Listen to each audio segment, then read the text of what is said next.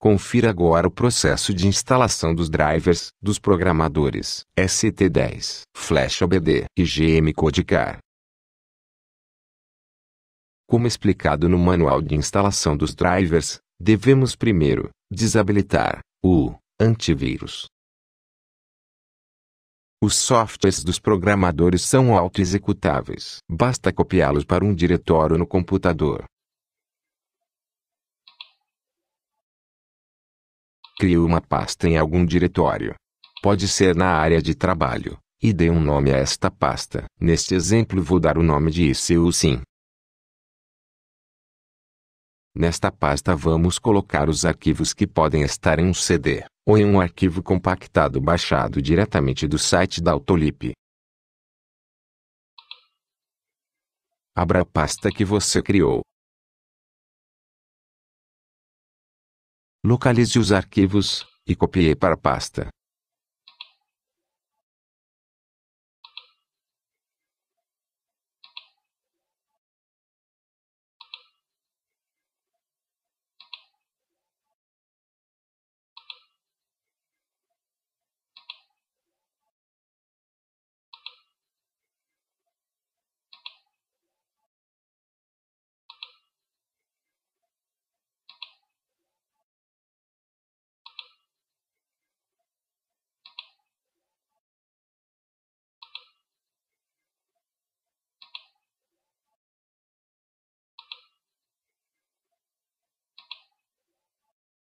Alguns CDs ou pacotes baixados do site oficial podem aparecer arquivos diferentes da imagem deste tutorial. Estes são os arquivos necessários para o correto funcionamento dos equipamentos. Abra e analise todas as pastas e arquivos contidos neste CD, pois também você vai encontrar todas as informações técnicas, manuais e exemplos com fotos das centrais, e os esquemas de ligação. Este é o manual de instalação dos drivers. Manual de pinagem. Onde você irá encontrar as informações de posicionamento dos pinos das centrais para conectar o cabo universal. Este manual de pinagem será utilizado apenas como referência de posicionamento dos pinos. Para as informações completas, é indispensável o uso dos esquemas elétricos comercializados. Este CD também contém o scanner Fiat e um esquemário muito útil. Para instalar, basta abrir as pastas e clicar no instalador.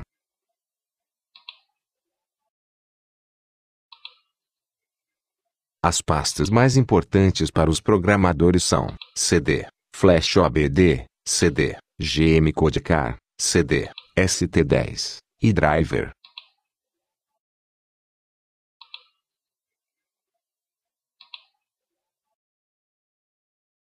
Abra todas as pastas dos CDs e verifique as imagens e fotos que contêm as informações de boot e ligação.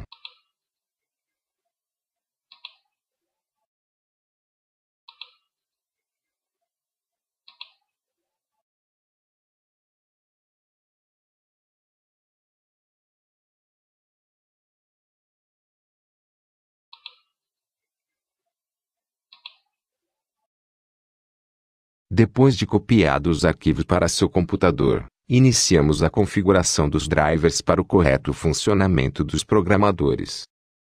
Neste momento não é necessário ligar o aparelho, basta conectar o cabo USB.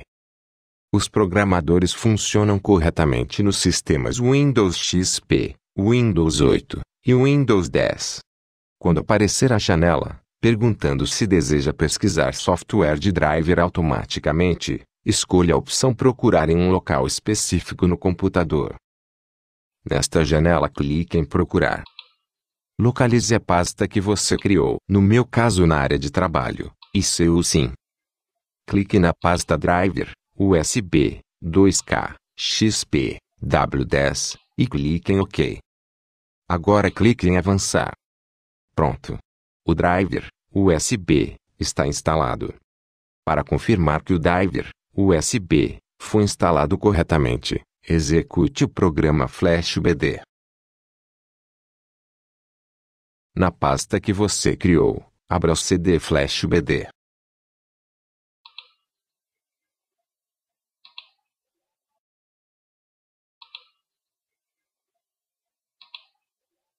Abra o arquivo executável. Este programa só abrirá se o driver estiver correto e o cabo USB conectado. O programa Flash BD abriu corretamente. Clique em sair. Aproveite para enviar um atalho para a área de trabalho, clicando com o botão direito, enviar para área de trabalho.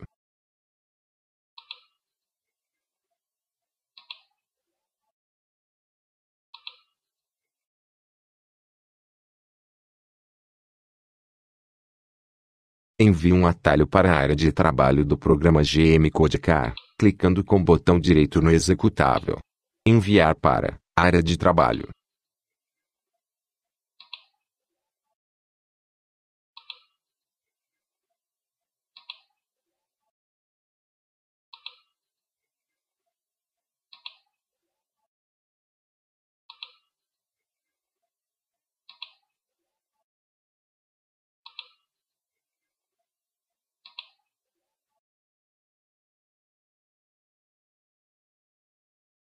Agora verifique se o driver da porta com virtual foi configurado corretamente.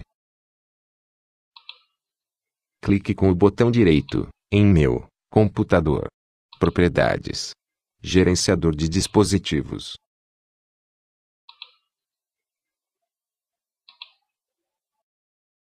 O programador ST10 utiliza a porta com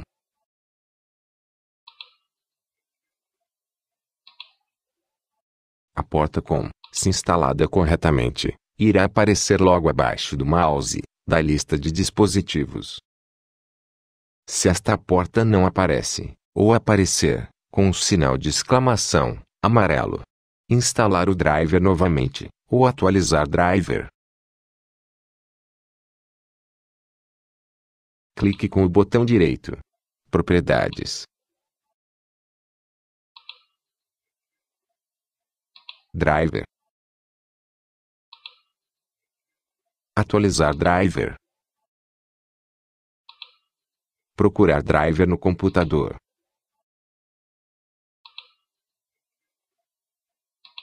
Procurar driver. Clique na pasta de driver que você copiou. Clique OK. Clique avançar. Driver instalado. Configurações básicas do programador ST10. Para os programadores Flash BD e GM Codecar, a configuração está concluída. Para o programador ST10, devemos configurar a porta com. O programador ST10 trabalha apenas com as portas, com 1, com 2, com 3 ou com 4. Entre novamente no gerenciador de dispositivos para verificar a porta com. Na instalação do driver, o sistema determina, aleatoriamente, um número para a porta. Caso seja um dos quatro que o programa trabalha, está ok. No meu caso, o sistema determinou a porta com 9. Vou mudar para com 1. Duplo clique. Configurações de porta. Avançado. Escolha a porta. Dê OK. Dê OK novamente. Pronto. Agora está na com 1. Agora, criamos atalho do programa ST10 para a área de trabalho.